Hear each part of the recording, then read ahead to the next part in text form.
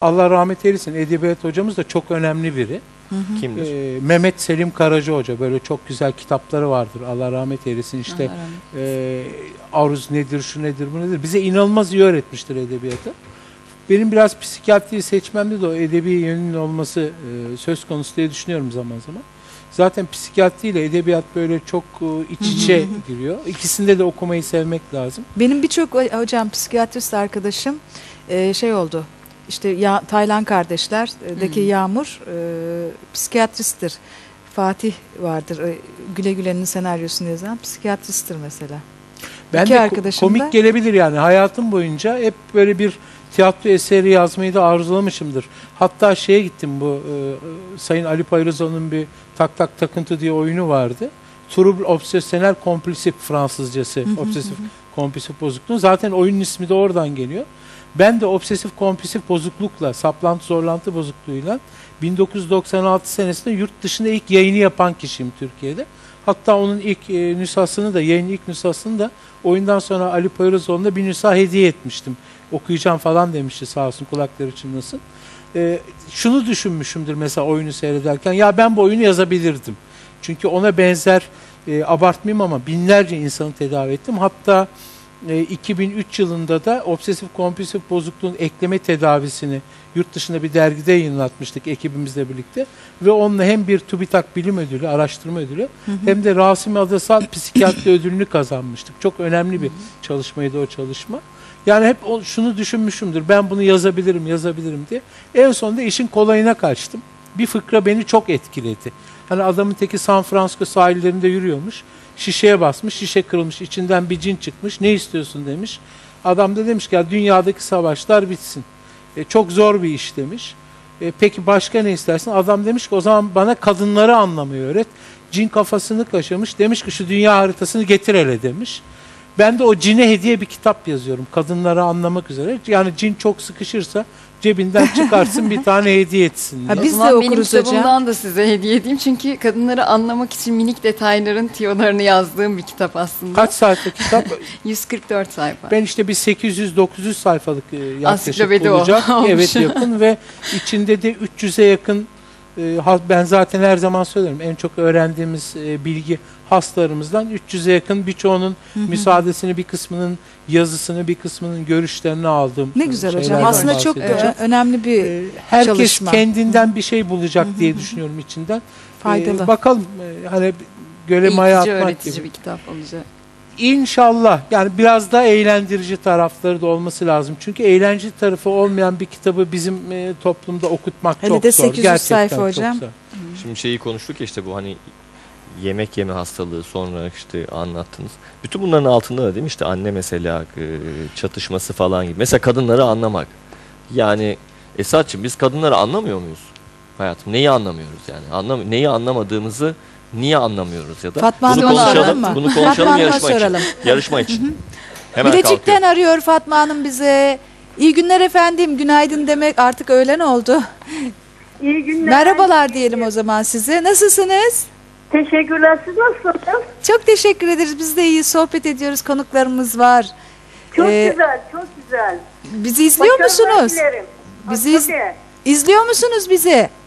Her gün, her gün izliyorum. Aman hiç ne güzel. kaçırmadan. Aman ne güzel o zaman. Evet, Fatma Hanım evet. Efendim, hoş geldiniz. Saygılar. hoş bulduk. Mutluluklar, Saygılar, sevgiler. güzel sevgiler. Sağ Bilecik olun. çok özel bir yerdir. Ben Eskişehir'de okudum üniversiteyi.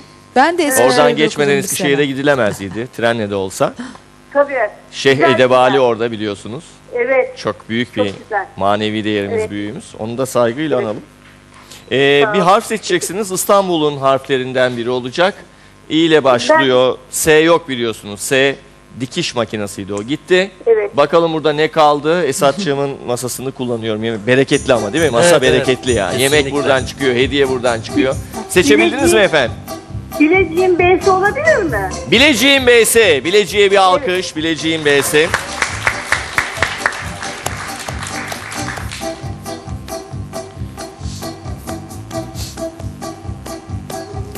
Sağ ol, teşekkürler.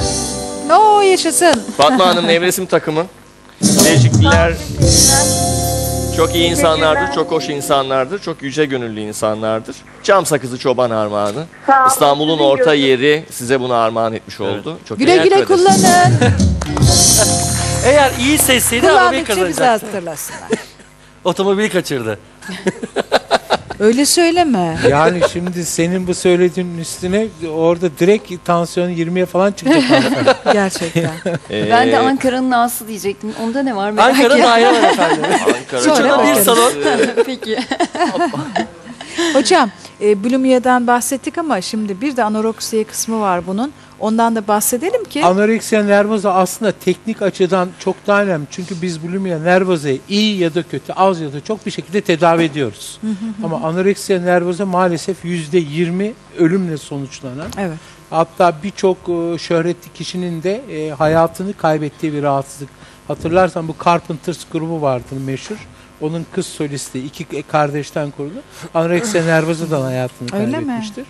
Evet. Bilmiyorum. E, anoreksiya nervoza aslında bir yeme bozukluğu gibi bir e, ilk bakışta gözüküyor ama aslında anoreksiya nervoza bir algılama bozukluğu. Kişi ne kadar zayıf olursa olsun aynaya baktığında kendini şişman görüyor. Evet. Ne kadar zayıf olursa olsun.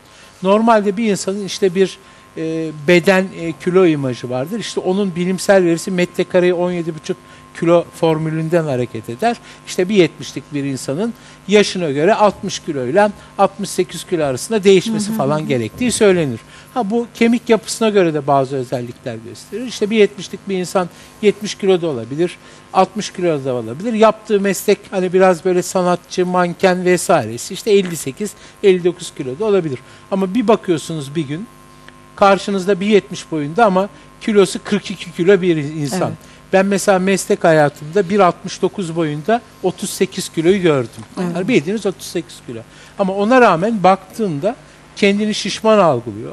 Ve kilo- Söylüyor mu siz hocam ben şişmanım mı diyor. Evet aynen öyle. Yani ben bende bir herhangi bir sorun İnanmıyor yok hiç. diyor. Evet. Bende herhangi bir sorun yok diyor. Yine e, psikonöro biyososyal bir rahatsızlık ama psikodinamik açıdan iki şey çok belirgin. Bir e, cinsiyetin reddi. Özellikle inanılmaz bir gebelik korkusu. İkincisi Bu de hastalıkta öyle mi bu hocam? hastalıkta Gebelik korkusu. Gebelik Niye? korkusu. Şişmanlayacağım diye Tabii. mi? gebelik korkusu var. Yani kadınlığı reddettiği için bilinç dışında. İkincisi de anneden ayrılmakta inanılmaz zorluk. Yani anneden ayrılma zorluğu inanılmaz boyutta. Adeta o anneyle yapışık bizim tabirimizde simbiyotik yaşıyor kişi.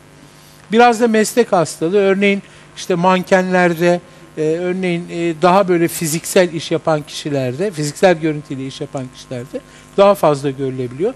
Toplumdaki yaygınlık oranı maalesef yüzde bire yaklaşmış durumda. Yani Yüzde bir. yüzde bire yaklaşmış durumda ve sıklıkta da 13-20 yaş arasında ortaya çıkıyor. Ve bu hastalığa yakalanan çoğunlukla kadınlar bir özelliği var. Hormonlar dengeli çalışmadığı için de menaj dediğimiz adet görme döneminden sonra hiçbir şekilde adet görmüyor hasta. Hiçbir hormon tam seviyede çalışmıyor ve bizim e, elektrolit dediğimiz işte başta sodyum, e, kalsiyum olmak üzere birçok elektrolitler düşük seviyede oluyor. İleri derecede bir kansızlık, ona bağlı lökopani dediğimiz bir kan tablosu ortaya çıkıyor ve metabolik asidoz dediğimiz tablodan da çok ciddi ölümler ortaya çıkabiliyor. Maalesef tedavisi %40 oranında mümkün. %30 artma ve azalmalarla devam ediyor. %20 ila 30'da maalesef kronikleşiyor ve dediğim gibi %20 olanında e, genç yaşta da ölümle özellikle de böbrek yetmezliğinden falan Öyle mi? ölümle Aman. sonlanıyor. E çünkü vücut yani buna ne kadar dayanacak ki?